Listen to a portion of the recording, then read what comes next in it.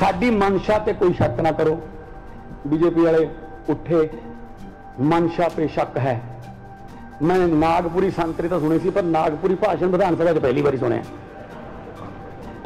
ਉੱਥੋਂ ਆਉਂਦਾ ਇਹਨਾਂ ਦਾ ਭਾਸ਼ਣ, ਨਾਗਪੁਰ ਤੋਂ। ਐਂ ਬੋਲਣਾ ਹੈ। ਮਜਾਲ ਹੈ ਕੋਈ ਹੋਰ ਬੋਲ ਜੇ ਕੁਝ ਗੱਲ। ਉਹਨਾਂ ਦਾ ਵੀ ਹਾਲ ਦੇਖ ਲਓ।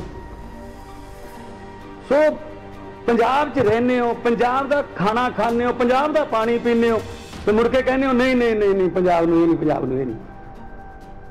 80% ਕੁਰਬਾਨੀਆਂ ਦੇ ਕੇ ਦੇਸ਼ ਆਜ਼ਾਦ ਕਰਾਇਆ ਤੇ ਉਸ ਆਜ਼ਾਦ ਦੇਸ਼ ਦਾ ਪ੍ਰਧਾਨ ਮੰਤਰੀ ਪੰਜਾਬ ਤੇ ਡਾਕੇ ਮਾਰੇ। ਸਾਡੀ ਮਨਸ਼ਾ ਤੇ ਕੋਈ ਸ਼ੱਕ ਨਾ ਕਰੋ, ਬੀਜੇਪੀ ਵਾਲੇ ਉੱਠੇ, ਮਨਸ਼ਾ ਤੇ ਸ਼ੱਕ ਹੈ। ਮੈਂ ਨਾਗਪੁਰੀ ਸੰਤਰੀ ਤਾਂ ਸੁਣੀ ਸੀ, ਪਰ ਨਾਗਪੁਰੀ ਭਾਸ਼ਣ ਵਿਧਾਨ ਸਭਾ 'ਚ ਪਹਿਲੀ ਵਾਰੀ ਸੁਣਿਆ। ਉੱਥੋਂ ਆਉਂਦਾ ਇਹਨਾਂ ਦਾ ਭਾਸ਼ਣ, ਨਾਗਪੁਰ ਤੋਂ।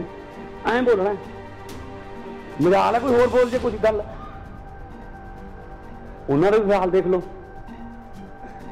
ਸੋ ਪੰਜਾਬ 'ਚ ਰਹਿੰਦੇ ਹੋ, ਪੰਜਾਬ ਦਾ ਖਾਣਾ ਖਾਂਦੇ ਹੋ, ਪੰਜਾਬ ਦਾ ਪਾਣੀ ਪੀਂਦੇ ਹੋ, ਤੇ ਮੁੜ ਕੇ ਕਹਿੰਦੇ ਹੋ, ਨਹੀਂ ਨਹੀਂ ਨਹੀਂ ਨਹੀਂ, ਪੰਜਾਬ ਨੂੰ ਇਹ ਨਹੀਂ, ਪੰਜਾਬ ਨੂੰ ਇਹ ਨਹੀਂ।